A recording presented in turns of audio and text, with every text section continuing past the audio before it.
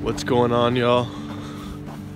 It's April 16 or 15 and snowed like a motherfucker last night. And, uh, I mean, some people must be like, no, no, come on, man. It's supposed to be spring. Come on, please. And I'm like, give me more. Give me more of that fucking snow. I want my eyelids to be frozen shut. I want to fucking eat snow and shit snow.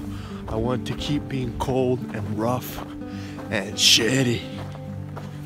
Because this shit's just like. I'm getting stronger by the second that I'm out here. It's like six in the morning. Everybody's out there in their little bitch ass little beds. And I'm out here walking. but honestly, yeah, like I'm getting to a point in my mind where anything difficult comes at me, and my answer is always, I want more.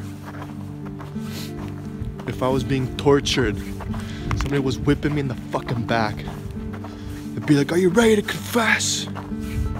Keep whipping, bitch. That's what I would say to them. And I want to keep this mentality, man. Like, anything that comes at me, what's up? You want to fuck with me? That's how I want to do it.